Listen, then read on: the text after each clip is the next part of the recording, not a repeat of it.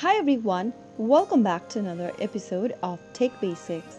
In today's episode, we will be learning how to transfer a Netflix profile.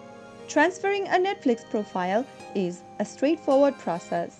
First of all, go ahead and log into netflix.com and then after you are inside the homepage, click on your profile icon at the top right and click on transfer profile in the drop down.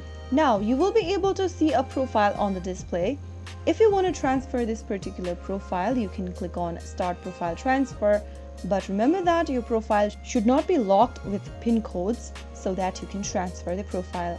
If you want to transfer a different profile, click on transfer a different profile button and select the profile that you'd like to transfer from your profile settings list. After you select one of the profiles, click on Start Profile Transfer and follow through the instructions. Follow the prompts to enter the email address and password for the new account and choose your membership plan and enter your payment information.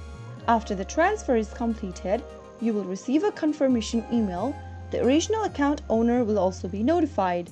Transferring a profile ensures that your recommendations, viewing history and other settings are preserved in the new account. So that is how you easily transfer your profile on Netflix. I hope the tutorial was helpful to you. If it was, go ahead and give us a thumbs up. Don't forget to subscribe to the channel by hitting the subscribe button.